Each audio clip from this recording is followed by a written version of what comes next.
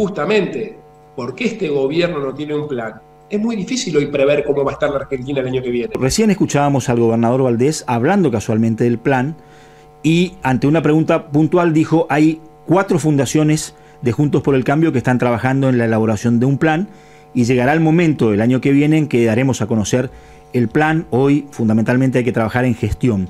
Eh, estos son los tiempos, la gente eh, va a tener que esperar hasta el año que viene para conocer un plan, la propuesta económica de Juntos por el Cambio. Es que el plan se aplica a una realidad, que es la del 10 de diciembre del año que viene. ¿Y cómo va a estar la Argentina económicamente el 10 de diciembre del año que viene? Ni con la bola de cristal lo sabemos. No sabemos cómo va a estar la Argentina hoy a la tarde. Entonces, digo, hoy es muy en abstracto.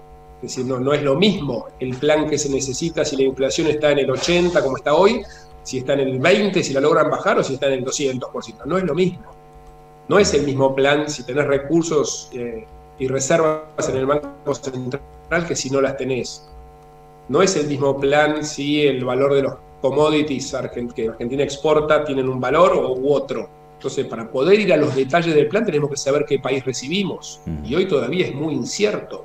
Justamente porque este gobierno no tiene un plan, es muy difícil hoy prever cómo va a estar la Argentina el año que viene. Por eso Gustavo Valdés, con mucha responsabilidad, y yo coincido con eso, te dice, mirá, tenemos que saber, tenemos, que estar más cerca del momento en el cual vamos a aplicar ese plan, que es a partir del fin del año que viene.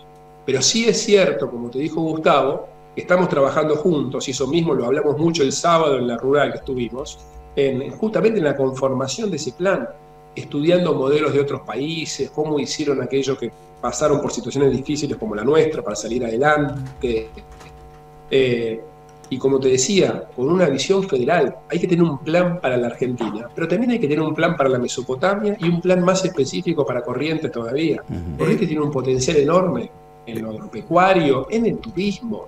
Ustedes tienen la zona posiblemente de las más lindas del mundo, de la ciudad de Buenos Aires, perdón, de la Argentina, que es toda la zona de los esteros de Liberá que recién ahora está empezando a desarrollarse con la visión de Gustavo y de los correntinos, pero que tiene un potencial enorme. Es cierto lo que usted marca respecto a que son los correntinos y demás, pero sin el apoyo, eh, sin eh, mm, la, digamos, la, necesidad que se requiere del gobierno nacional, Corrientes lamentablemente no va a poder salir adelante. Usted lo marcaba recién, potencial de turismo, potencial en la madera, potencial en el arroz, potencial en la ganadería pero lamentablemente la infraestructura que tiene la provincia está lejos de, este, de, ser la, ideal para poder avanzar. Diferencia con Misiones, por ejemplo, con El Chaco, con Formosa, que son provincias afines al gobierno nacional. Aquí en Corrientes tenemos una permanente, este, eh, digamos, el pie en el cuello para que, no, para que no se pueda crecer. Incluso sumamos esto a la cuestión yaciretá que este recurso natural correntino manejado en este caso por un formoseño actualmente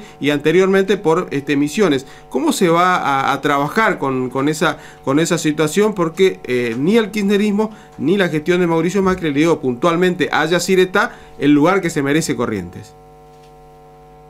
No, definitivamente, Yacireta es un recurso de los argentinos, pero también de los correntinos, y tuve tienen que tener representación. No hay ninguna duda de eso y es parte de esta visión federal que tenemos que devolverle a la Argentina. Si hay un recurso natural como Yacyretá, tiene que estar, tiene que tener presencia, estar administrado por los responsables de la región donde está, en este caso Corrientes. Eh, y lo que decías al principio, se requiere una redistribución de recursos que hoy maneja el gobierno nacional, debieran ir a las provincias.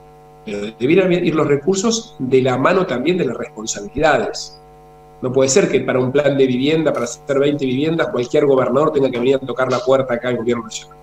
Eso lo tiene que poder hacer la provincia, es un tema provincial. O para decidir cuál ruta tiene prioridad para ser construida o arreglada. Eso, quien mejor lo sabe son los correntinos. No puede depender de acá. Ese es el verdadero federalismo. Como vos decís, tiene que ir de la mano con el apoyo de los recursos, pero después el uso de esos recursos lo tienen que decidir los correntinos.